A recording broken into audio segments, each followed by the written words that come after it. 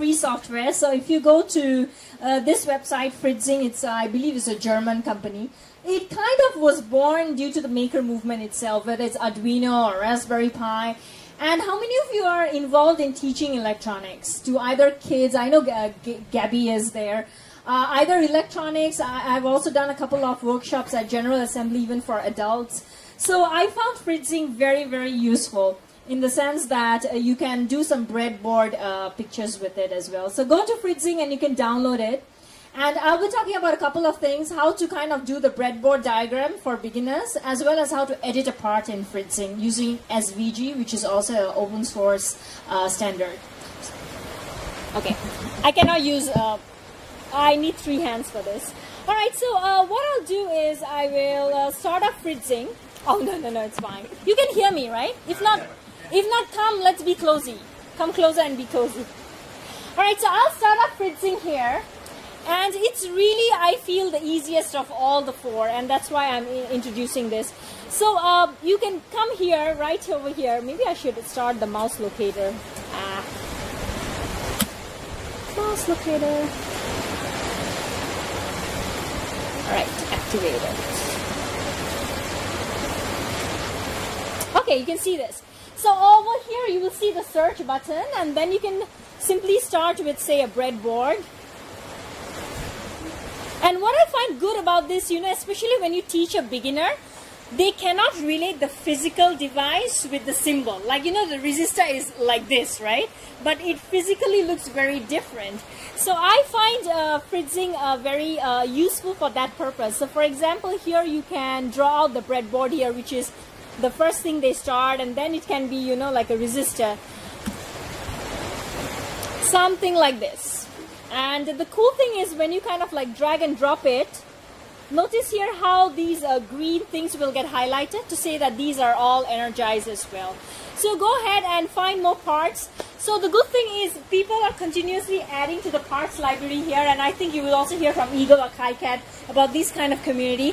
So Fritzing uh, has like SparkFun, Adafruit, and lots of stuff. There is also the schematic version of it. So if you want a schematic, they will automatically also create one. And there is of course the PCB one. But I have never used the schematic and the PCB one. The mostly that I use is the breadboard version. And then I have a picture. For example, today, what I did, I went to Johnny 5 and then I did a example on tilt. Maybe I should show you one. So um, I had to do, a, so you can see that this example here, it's all done with fritzing, all these breadboard diagrams. So I find them really, really easy. So whenever you need to show a physical, uh, how it looks like, you can use fritzing. The next thing I want to show you in fritzing is how to edit a part. And this is something I found very useful. Um, so in fritzing, what you can do is, uh, let's find something. Let's find tilt. It's a tilt switch. So in Fritzing, you can actually go here and then you can export the part. Let's export it. So when you export it, it will give you this weird file extension FZPZ. So let's export that. And over here, this is how it will look like. The cool thing about this is if you change this to a .zip, you can actually unzip it. And once you unzip it, it will become a folder. And inside the folder, guess what? There are like about like five files. One is with the breadboard. This is how the SVG looks like. The other one is the icon, which is also the same as the breadboard. The one, this one is the PCB. And the last one is the schematic, as you can see. So what we are going to do now is we're going to try to edit this. And in order to edit this, uh, I know if you ask Leon, he'll probably use Adobe Illustrator. But uh, once again, I'm going to use another free software, and it's called Inkscape. So what I'm going to do, I'm going to open this with Inkscape. Uh, let me show you the website of Inkscape. You can also, once again, go ahead and download it. It's uh, free. So let's try to edit this. Okay, so this is the tilt switch, and I'm going to try to edit this. So let's go here. Let's blow it up. Blow blow blow. And let's say just for the sake of uh, example I'm gonna try to delete this uh, part. Delete it. And delete it. Now it is in Fritzing, if you want to create a new part, it's always, always good to edit an existing one. So if you are trying to create a resistor, find another resistor and try to edit it. Because SVG, which is made up of a lot of XML tags, if you come here and look at the XML editor, you see that the editor has IDs like connector and the pins. And this is how later on Fritzing will identify these names and use this connection to connect up in the breadboard. So the names are very important. The first time I tried, I tried to do it with a bare SVG, it does not work. So try to edit an existing one. So Yep, I'm just going to remove this and let me just save it. Save as. I'll save it on the desktop and say example.svg. Please choose an SVG format. Plain SVG, that will do. Save. Right, and then you can quit. Now what you do, you come back to here and let's, this time you will click uh, edit part. So let's click it. And there you go, you can edit now. So you can have a few uh, looks of it. This is the schematic, this is PCB, this is icon, and this is the metadata.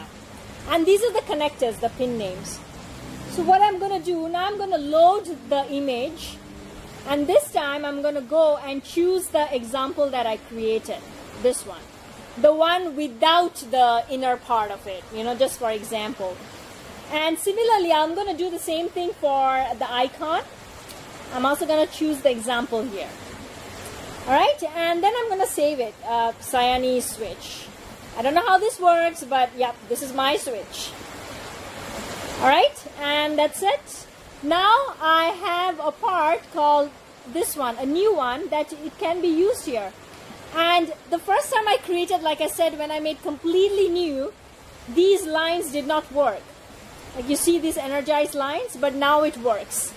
And similarly, you can also go and export it and save the part here. You can edit it and so on and so forth, okay?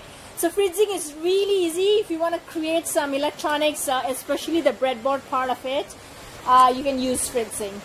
Do you have any questions? So I find personally, if you go to GitHub, if you go to GitHub and then you kind of search for fritzing, you will basically find Adafruit's SparkFun libraries inside there, and you can send a pull request as well. So you see here, this is like by Adafruit, right? This is the one by Fritzing. Go and have a look at their one. So they have all the SVGs inside there. So and Fritzing itself, by the way. So if you create a new part, remember to send a pull request there. My talk is really short. It's just an introduction to what a software is. Uh, maybe I'll just take one question. Any question? All right. If not, yes. Yes. Yes, there are wires inside. Yes, so that's a good question. So, yes, that's right. So you can actually just drag and drop, like what Ibnur said. And uh, uh, so let's say I drag drag from here, and you can actually edit it as well. So you can let's say you know you're you're putting this to like a, a, a live wire, so it can be red. You can also use command and then kind of bend it. Yes, you can. You can. You definitely can. So I'm going to stretch one from here to here. Yeah. This is, I find, like I said, I find the breadboard one uh, most easy for beginners, you know. Like a, like a picture. Like if you go to, I don't know if you deal with Johnny 5, like like these this example like let me give you something like um, a switch let's say um okay a servo or something like that you know this is much more relata- relatable to a beginner than somebody who, who has already done electronics. Then that person can do with schematics, but this is so needed for beginners. So I highly recommend Fritzing when you are using it for teaching. I think uh, Gabby would know even better. Yes, So let's say, uh, let's say I input a 5 volt battery for example, yes. setup, right? And I arrange like resistors or various resistors. Yes is there a way for me to like let's say point to a, a wire and it says that okay, uh, this plate in this point is how many volts, this point Yeah, I think I uh, can you annotate it? I do not know. I have personally used another software called Skitch. Discover. Discover. Yeah, I, no, that's full simulation. That's full simulation. Okay. I've actually used Skitch for this. Oh, really? Yeah, but because I remember um, there was a NodeBots going on, and uh, Chinmay, another guy, was doing um, uh, the circuit, and so I helped him prepare the docs. And I had to put in annotations for that because over there the people coming in had JavaScript background but not electronics. So I used Skitch because it had like bright pink annotation. So I find Skitch and uh, Fritzing goes very well. So thanks for the question, Ibnur. So Skitch and Fritzing and Inkscape. All right, I think I will take the questions. Uh, let's have more questions after it. So Kang Meng with Eagle. Eagle is, is, is the boss. Like